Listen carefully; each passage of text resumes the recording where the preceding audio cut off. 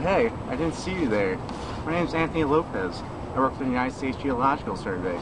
Let me tell you a little bit about myself. Right. I first started working for the USGS about four years ago. Uh, one of my professors at Rutgers University told me about this intern program called a SCEP internship with the United States Geological Survey.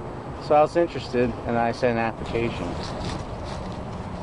After working three years as an intern on various different projects with many people in the office, I was offered a full-time job as a hydrologist, which is my current position at the office. As a hydrologist, I'm currently working on two projects. The project that I'm working on is a assessment of toxicity of the sediment in Barnegat Bay. For this project, we're basically sampling the bay and its tributaries for any pesticides, pharmaceuticals, metals, or any other anthropogenic contaminants.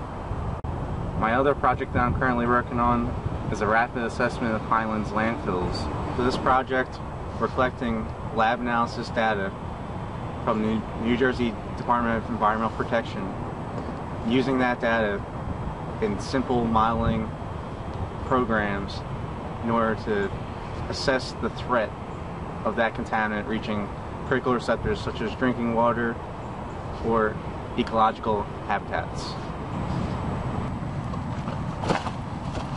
USGS is a great place for young people to work, mostly because it's filled with some of the most experienced people in their fields.